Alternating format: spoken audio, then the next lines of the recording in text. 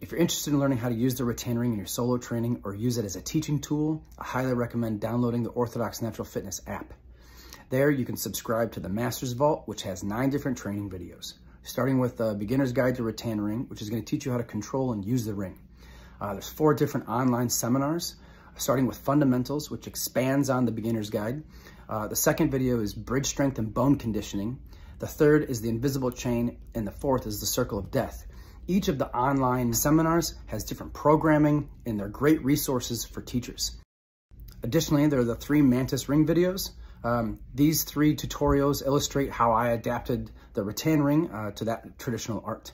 So if you're interested in seeing how the rattan ring also works with uh, traditional Chinese boxing, those three videos are key. The rattan ring is a close combat training tool designed to provide feedback during solo practice.